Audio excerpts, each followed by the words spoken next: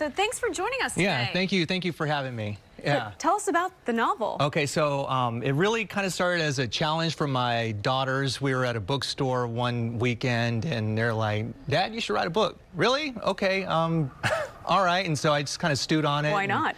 yeah, and then I thought, well, you know what? I'll just park my butt in front of my computer and see how many words I can churn out. I couldn't be bothered to write a college essay at U of Right. H, S- Same. but uh, word after word after word, and 60,000 words later, I had a manuscript. So. See, I am so impressed, Freddy, that you, I know you're such a busy guy, right? And I'm so impressed that you found the time.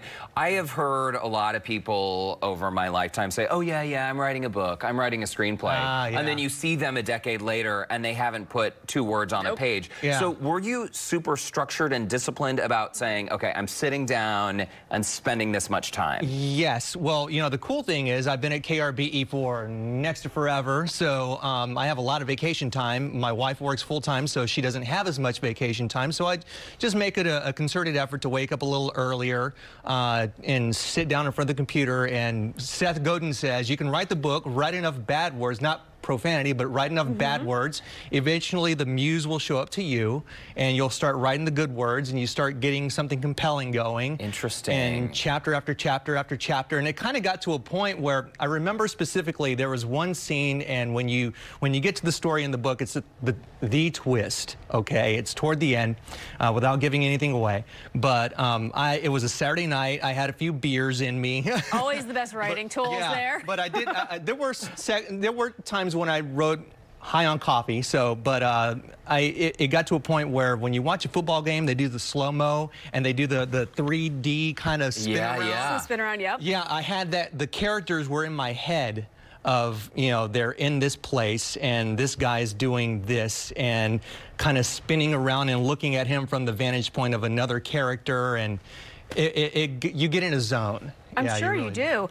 And you wrote a novel. How long did this take you to do? Because I, I can't even imagine. Uh, yeah, well, um, I started in late February last year, Okay. finished the what they call a junk draft or the rough draft in September, uh, checked for grammar and spelling and all the all that stuff before I um, hired a development developmental editor.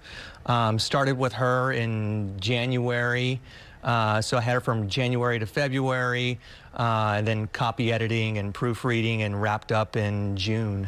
And here you are. It's available now. Let's talk a little bit about uh, the content of Yeah. the book. So, When America Yeah. Fell Silent, this is fiction. It is fiction. And how did you come up with these characters? Give us sort of a, a brief synopsis of the story arc. Uh, so it's near it's it's near future America.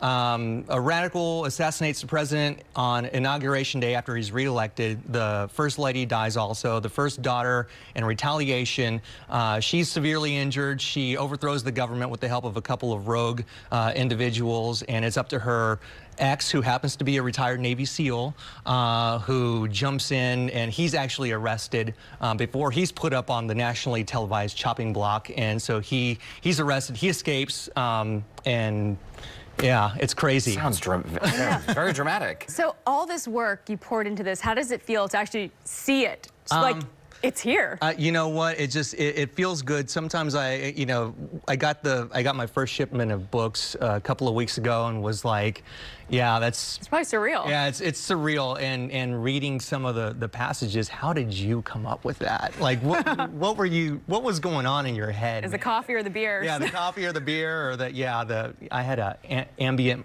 music uh, also. My wife, you know, she was like, I was just wondering what what, you, what are you doing in there? All I hear is dum da da dum dum da da dum dum dum dum dum. I'm working, babe. I'm working. You would listen to that while you were writing. Oh yeah. Oh, on YouTube you can find any kind of music you want. So on uh, there are some, there are a few like at the end it's kind of dramatic, some- kind of emotional. So I had you know some uh, ambient emotional music. Um, Try also to get going. you set the mood. Yeah, for it helps all. you really helps you set the mood. Yeah. So, Freddy, I know that a lot of books turn into films. It sounds like this book is action packed. Now that you know us, Yeah. Well, have you, you know- thought of that? Like, has that even crossed your mind that one day maybe this could Yeah. be turned into a film? Uh, that would be amazing. Um, but I really like my life right now. Mm-hmm. Um, yeah.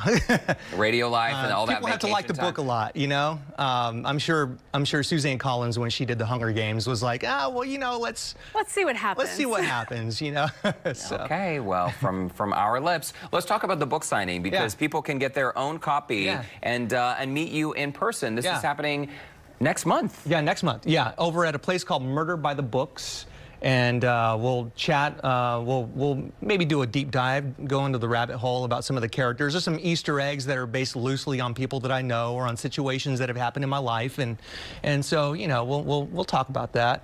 Okay. Be a lot of fun. Well, it's very exciting. Yeah. Available for pre-order now. Freddy Cruz, Yeah. great to see you. Thank you. Thank you Stop by both. anytime. so you can find it online on Amazon, Barnes & Noble as well. And to connect with Freddy, you can check out the Scene on Houston Life section of our website, houstonlife.tv. All right, well, coming up, we're